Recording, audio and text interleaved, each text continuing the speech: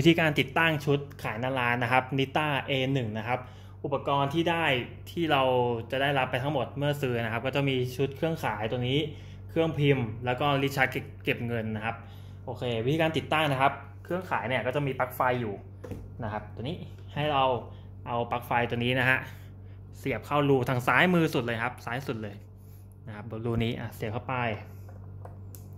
มันจะมีร่องของมันนะครับ เสียบให้ถูกทาง โอเค อันนี้เรียบร้อย เรากดเปิดเครื่องไว้ได้เลยครับ ปุ่มเปิดเครื่องจะอยู่ด้านหลังนะครับ ตัวนี้ กดทีหนึ่งครับเบาๆ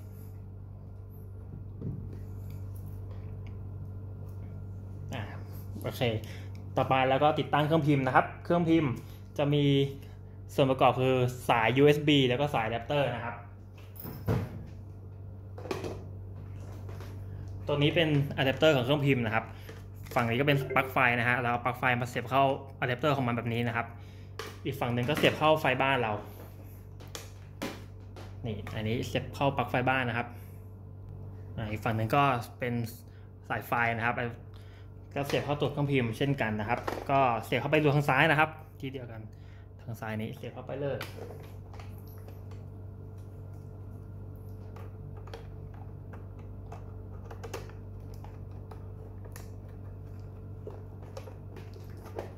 ต่อไปสาย USB นะครับ เครื่องพิมพ์จะมีสาย USB ลักษณะนี้ไปด้วยนะครับ จะมี 2 ฝั่งฝั่งนี้แบนๆกับฝั่งทรงกลมๆหน่อยอ่าแบนๆเนี่ยเสียบเสียบเดี๋ยวเสียบจากฝั่งเครื่องพิมพ์ก่อนแล้วกันอะรูนี้นะครับ สายนี้เสียบเข้าเครื่องพิมพ์ ก็จะมีช่องเดียวแหละที่เสียบได้นะครับ คือขวาสุดเลยนะครับ เสียบเข้าไป อีกฝั่งหนึ่ง USB จะแบนๆแบบนี้นะครับ ก็เสียบเข้าใต้คอเครื่องของ A1 นะครับ เลือกสักรูหนึ่งครับ USB รูไหนก็ได้ โอเค ต่อไปลิ้นชักเก็บเงินนะครับ ลิ้นชักเก็บเงิน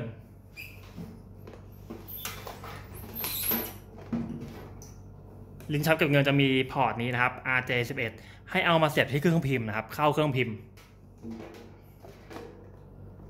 จะมีรูนี้นะครับ มันจะมีอันเล็กๆ อยู่ข้างๆปลั๊กไฟนะฮะอันนี้ เสียบเข้าไปเลยให้ดังแก๊กนะฮะ อ่าแค่นี้นะครับ ตัวเครื่องพิมพ์ครับปุ่มเปิดอยู่ทางขวาล่างตัวนี้ โอเคครับ อันนี้คือทุกอย่างเรียบร้อย ต่อไปก็จะเป็นการ set up ตัวเครื่องพิมพ์ในแอป l o y w o r d POS นะฮะ ให้เรา ให้เราเข้าไปที่แอป l o y w o r d นะครับ พอแอปเปิดขึ้นมาแล้วให้เข้าเมนูนะครับ ด้านซ้ายบนเลือกการตั้งค่าครับ ก็มันจะเข้ามาในส่วนเครื่องพิมพ์ ให้กดบวกเพิ่มเครื่องพิมพ์มา ตั้งชื่อเครื่องพิมพ์นะครับ อะไรก็ได้นะครับ เช่นปรินเตอร์รุ่นของเครื่องพิมพ์เลือกเป็นรุ่นอื่นๆนะครับ จะอยู่ล่างสุดเลยรุ่นอื่นๆ การเชื่อมต่อเลือกเป็น USB ครับ USB โอเค ต่อไปเลือกอุปกรณ์ USB นะครับ มันก็จะเจอเครื่องพิมพ์อันนี้ ถ้าของใครมีหลายอันนะครับ ก็เลือกต้องเลือกไล่เลือกไปว่าไหนคือเครื่องพิมพ์นะครับ เลือกเครื่องพิมพ์เสร็จแล้ว ความกว้างหน้ากระดาษเลือกเป็น 80 มม นะครับ ต่อไปเข้าการตั้งค่าขั้นสูงครับ เลือกความกว้างเนี่ยให้เป็น6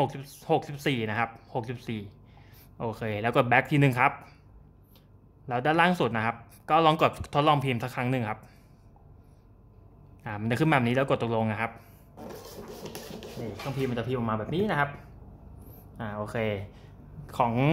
แอปเนี่ยมันจะมีบอกว่ามันจะถามว่าเครื่องพิมพ์นี้เราจะตั้งค่าให้เป็นอะไรนะครับ เราก็เลือกพิมพ์ใบเสร็จแล้วบินนะครับ เปิดมัน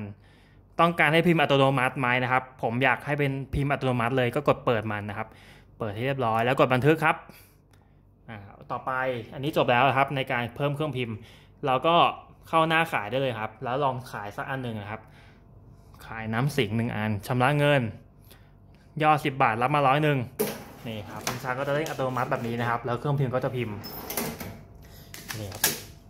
เครื่องพิมพ์ก็จะพิมพ์ออกมาแบบนี้นะฮะอ่า ค่า